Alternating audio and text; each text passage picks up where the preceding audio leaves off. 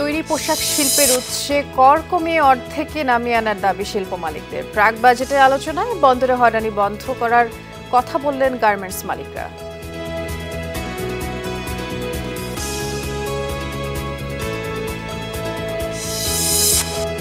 রাজধানীর বেইলি রোডের বিভিন্ন রেস্তোরাঁয় রাজুকের অভিযান, সিলগালা জরিমানা। অভিযানের নামে মালিক কর্মচারীদের হয়রানির অভিযোগ রেস্তোরাঁ মালিক সমিতির। সাইবার ঝুঁকিতে ব্যক্তি ও রাষ্ট্রীয় তথ্য ভাণ্ডার, মন্তব্য আইসিটি প্রতিমন্ত্রীর। প্রস্তুতি চলছে উপাত্ত সুরক্ষা আইন পাশের।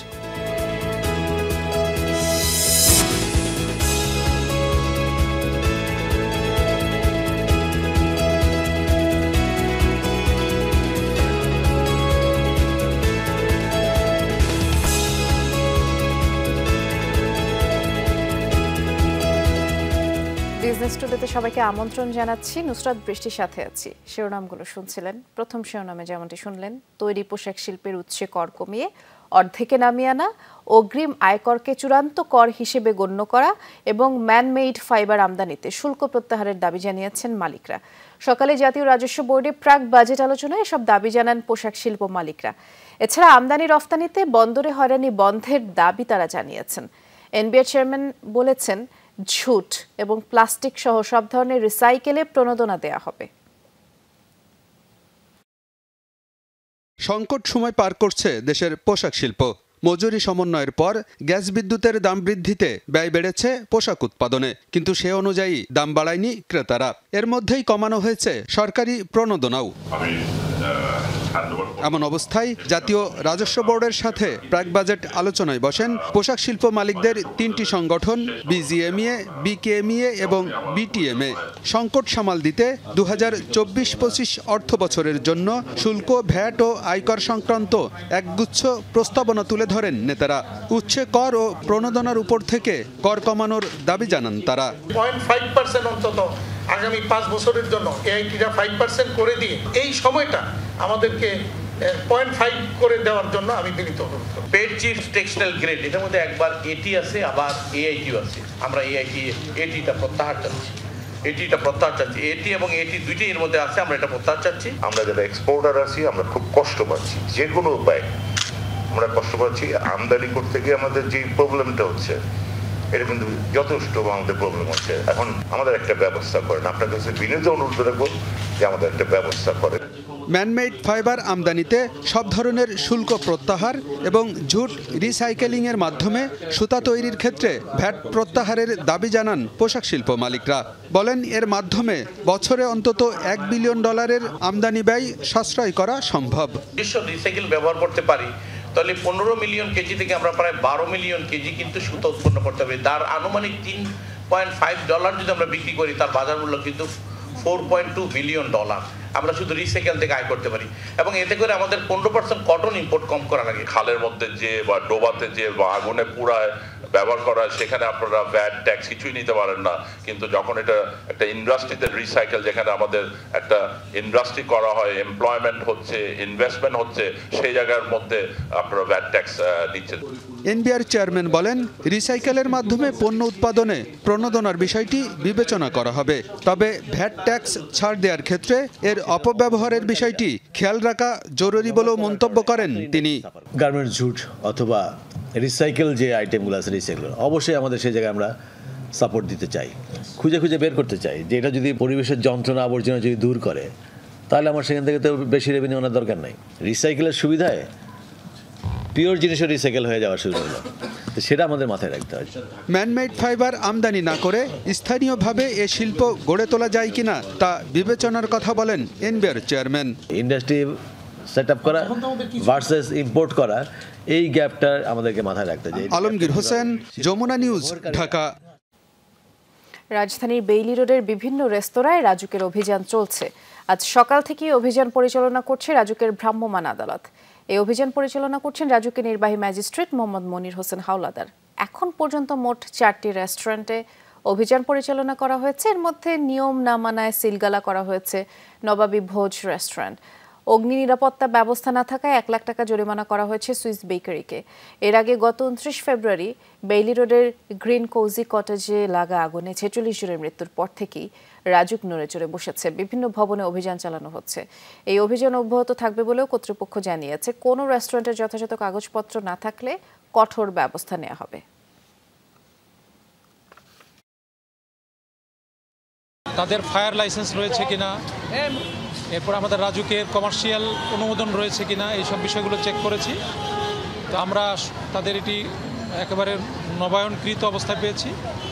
তো যে কারণে তাদেরকে কিছু ফায়ার পরিচালনার যে নির্দেশনা সেটা দেওয়া হয়েছে যে যাতে করে ফায়ার লাইসেন্স অথরিটি যেভাবে তাদেরকে এই লাইসেন্সটি দিয়েছে, যেভাবে অপারেশন করার কথা, যাতে তারা সেটা সেভাবে অপারেশন করে। বেইলি রোডের অগ্নিকাণ্ডের ঘটনায় রেস্তোরাঁ মালিক, ভবন মালিক সহ সংশ্লিষ্ট সবাই দায়ী। এমন মন্তব্য করেছেন বাংলাদেশ রেস্তোরাঁ মালিক সমিতির মহাসচিব ইমরান হাসান। সকালে পল্টনে এক সংবাদ সম্মেলনে তিনি অভিযোগ করলেন, অভিযানের নামে রেস্টুরেন্ট মালিক ও কর্মচারীদের হয়রানি করা হচ্ছে দেশ জুড়ে কর্মচারীদের আটক করা হচ্ছে। রেস্তোরাঁ মালিক সমিতির দাবি, তেরো চোদ্দটি সংস্থার অনুমোদন নেয়ার পরেও এখন যা হচ্ছে তা হয়রানি আর জুলুম ছাড়া কিছুই নয়। যেসব সংস্থা অনুমোদন দিয়েছে, তাদের বিরুদ্ধে ব্যবস্থা না নিয়ে এককভাবে শুধু রেস্তোরাঁ মালিকদেরই হয়রানি করা হচ্ছে। এবং রেস্তোরাঁ মালিকদের অভিযোগ, তাদের বিরুদ্ধে নানা অভিযোগ এনে হেনস্থা করা হলেও ভবন মালিকদের বিরুদ্ধে কোনো ব্যবস্থাই নেওয়া হয়নি। তাই টাস্ক ফোর্স গঠন করে সমস্যার সমাধানের আহ্বান জানানো হয় সংবাদ সম্মেলনে। বহু বছর ধরে রেস্তোরাঁ সেক্টরের সমস্যা নিয়ে সরকারি দপ্তর, সংস্থা কর্তৃপক্ষের স্বর্ণাপন্ন হয়েও কোনো সময় উপযোগী সহযোগিতা পায়নি। মনিটরিংয়ের নামে শুধু হয়রানি চলছে, এই উদ্ভূত পরিস্থিতিতে প্রয়োজন সরকার কর্তৃক উচ্চ ক্ষমতা সম্পন্ন একটি টাস্কফোর্স গঠন করা, যার মাধ্যমে ঘটনার সুষ্ঠু তদন্তপূর্বক ঘটনার সঠিক তথ্য বের হয়ে আসবে। সাথে সাথে রেস্তোরাঁ সেক্টরের জন্য সুনির্দিষ্ট একটি গাইডলাইনও তৈরি হবে, ইহাই যথাযথ কর্তৃপক্ষের নিকট আহ্বান জানাচ্ছি। এত বড় দুর্যোগেও ওই বাড়িগুলি দাঁড়িয়ে আছে কোন শক্তিতে? সেজন্য প্রয়োজন উচ্চ শক্তির নির্মাণ সামগ্রীর ব্যবহার। যেমন GPH quantum B six hundred DR বাংলাদেশের উচ্চ শক্তি সম্পন্ন একমাত্র রড। শুধুমাত্র অর্থ নয় রাষ্ট্রীয় এবং ব্যক্তিগত তথ্য চুরি করার চেষ্টা চালিয়ে যাচ্ছে হ্যাকাররা। সাইবার ঝুঁকিতে আছে সরকারি ও বেসরকারি প্রতিষ্ঠানের মূল্যবান তথ্য ভাণ্ডারও টেলিযোগাযোগ ও আইসিটি প্রতিমন্ত্রী জানিয়েছেন এসব সুরক্ষিত রাখতেই ব্যক্তিগত উপাত্ত সুরক্ষা আইন করা হচ্ছে। সকালে বাংলাদেশ ইনোভেশন কনক্লেভ আয়োজিত সাইবার সিকিউরিটি সামিট দু হাজার চব্বিশে প্রধান অতিথি হিসেবে যোগ দেন টেলিযোগাযোগ ও আইসিটির প্রতিমন্ত্রী জুনায়দ আহমেদ পলক। অনুষ্ঠানে বাংলাদেশের সাইবার সিকিউরিটির সক্ষমতা এবং ঝুঁকির বিষয় তুলে ধরেন মন্ত্রী। পরে সাংবাদিকদের বলেন, সাইবার আক্রমণ থেকে তথ্য ভাণ্ডার সুরক্ষা দেওয়াই এখন সবচেয়ে বড় চ্যালেঞ্জ। জানান, রাষ্ট্রীয় এবং নাগরিকদের তথ্য ভাণ্ডার সুরক্ষিত রাখার জন্য খুব শিগগিরই ব্যক্তিগত উপাত্ত সুরক্ষা আইন পাশ করবে সরকার। সাম্প্রতিক সময় আমরা দেখতে পাচ্ছি উপাত্ত তথ্য চুরি করার জন্য কিন্তু বড় ধরনের আক্রমণ আসছে। এবং ধীরে ধীরে কিন্তু অর্থের পাশাপাশি তথ্য এবং উপাত্ত খুব মূল্যবান হয়ে উঠছে। যে কারণে আমরা পার্সোনাল ডেটা প্রোটেকশন অ্যাক্ট আমরা একটি আইন প্রণয়নের দিকে আমরা এগিয়ে গিয়েছি। আমাদের মন্ত্রিসভা ইতিমধ্যেই মাননীয় প্রধানমন্ত্রী অনুমোদন দিয়েছেন। এটা লেজিসলেটিভ ডিভিশনে ভেটিংয়ের জন্য অপেক্ষমান দেশের বিদ্যুৎ, টেলিকম এবং আর্থিক খাত সাইবার ঝুঁকির মধ্যে আছে। এমন তথ্য উল্লেখ করে মন্ত্রী বলেন, আইসিটি মন্ত্রণালয় পঁয়ত্রিশটি সরকারি ও বেসরকারি প্রতিষ্ঠানকে স্পর্শকাতর হিসেবে চিহ্নিত করেছে।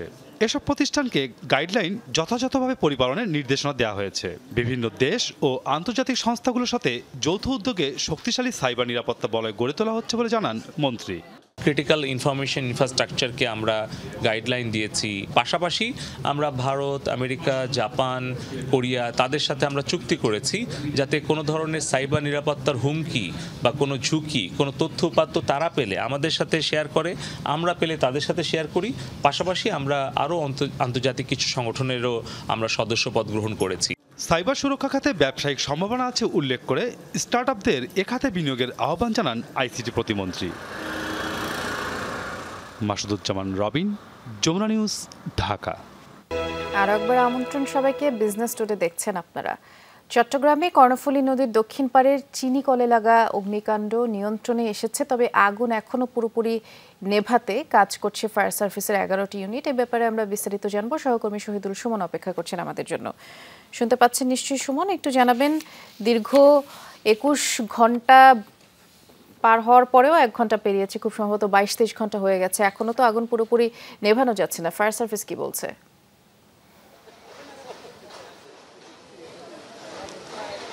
বৃষ্টি আর কয়েক মিনিট হলেই চব্বিশ ঘণ্টা আসলে পুরাবে। তারপরও আগুনের যেই তীব্রতা, সেটি সকালে যেমন ছিল, তেমনই আছে। ফায়ার সার্ভিসের এগারোটি ইউনিট এখনও পর্যন্ত কাজ করছে। কিছুক্ষণ আগে তদন্ত কমিটির যেটি জেলা প্রশাসন কর্তৃক গঠিত, সেটির সদস্যরা এসেছিলেন। নয় সদস্যের কমিটি তারা এসে কারখানা কর্তৃপক্ষের সাথে কথা বলেছেন কি, কীভাবে আগুন নেভানো যায় সেই পরিকল্পনাটির বিষয়ে আসলে তারা কথা বলেছেন। ফায়ার সার্ভিসের সদস্যরা নানাভাবে নানা পরিকল্পনা আটছেন এই আগুন নির্বাপনে। তারপরও আসলে যেহেতু গতকাল রাতেই তারা ঘোষণা দিয়েছিল আগুন নিয়ন্ত্রণের, তার প্রায় পনেরো পনেরো ঘণ্টা অতিবাহিত হতে চলছে। তারপরে এখনও পর্যন্ত আগুন কোনোভাবেই নির্বাপন করা যাচ্ছে না। এর কারণ হিসাবে যেটি বলছে দাহ্য পদার্থ তার সাথে এই যে কাঁচামাল, কাঁচামালে পানি দেওয়ার পরপরই সেটি অক্সিজেন এবং কার্বন ডাই কার্বন ডাই অক্সাইডের কারণে সেই আগুনটি আরও বেশি পরিমাণে বৃদ্ধি পাচ্ছে। সব মিলিয়ে কিন্তু কাঁচামালগুলো একেবারে পুরে পুরে সেটি কিন্তু একেবারে তরল পদার্থের মতো কিন্তু বেরিয়ে আসছেন আহ, আগ্নেয়গিরির যে লার্ভা সেই লার্ভার মতোই আমরা দেখছি পুরো কারখানার সামনে কারখানার ভেতরে বাহিরে পুরোটাই আসলে পুরো কাঁচামালে ভর্তি সেগুলো ব্রাজিল থেকে রমজান মাসে আসলে পরিশোধন করে বাজারজাত করার জন্য আসলে সালাম কর্তৃপক্ষ নিয়ে এসেছেন। গতকাল বিকেলে অগ্নিকাণ্ডের পরপরই কিন্তু পনেরোটি ইউনিট ফায়ার সার্ভিসের এখানে যুক্ত হয়েছিলেন এবং তার পাশাপাশি কোস্টগার্ড বিমান বাহিনী এবং নৌবাহিনীর সদস্যরাও এখানে এসেছিলেন।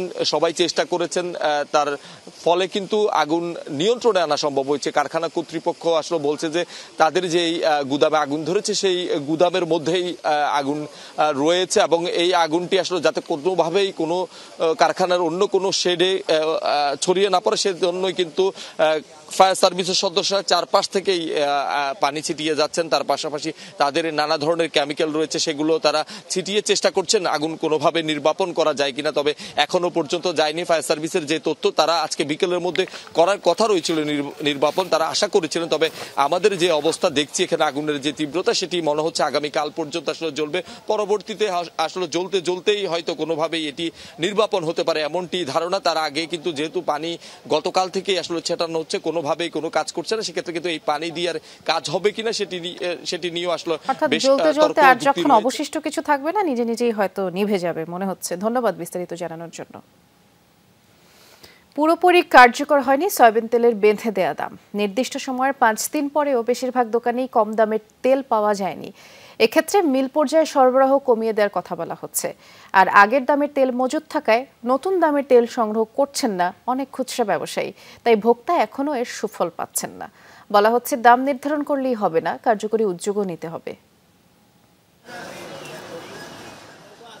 গেল বিশ ফেব্রুয়ারি, বৈঠক করে নির্ধারণ করা হয় সয়াবিন তেলের দাম। কার্যকর করতে সময় দেওয়া হয় দশ দিন। অর্থাৎ এক মাস থেকে নতুন দামের তেল বাজারে পাওয়ার কথা। কিন্তু বেশিরভাগ জায়গাতেই পাওয়া যাচ্ছে না কম দামের তেল।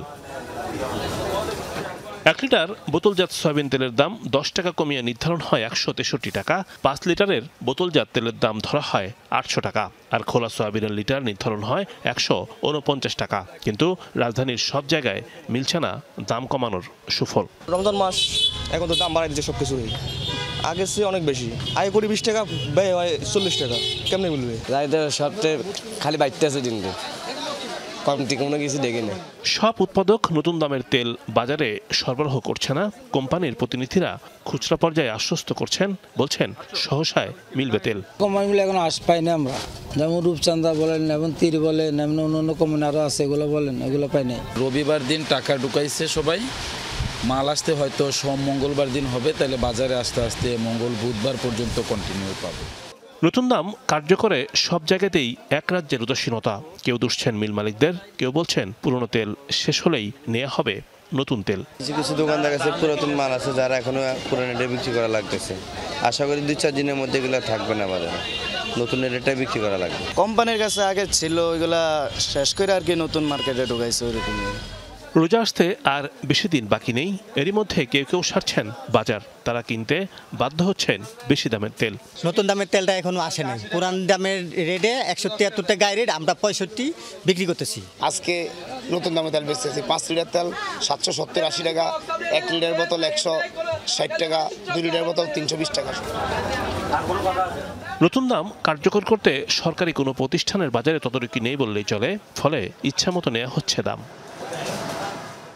রিমন রহমান, যমুনা নিউজ, ঢাকা। বিশ হাজার টাকার নিচে একশো জন গ্রাহকের মোট দশ লাখ টাকা ফেরত দিচ্ছে ইভ্যালি ভোক্তা অধিকার সংরক্ষণ অধিদপ্তরের অভিযোগকারীরা এই অর্থ পাচ্ছেন।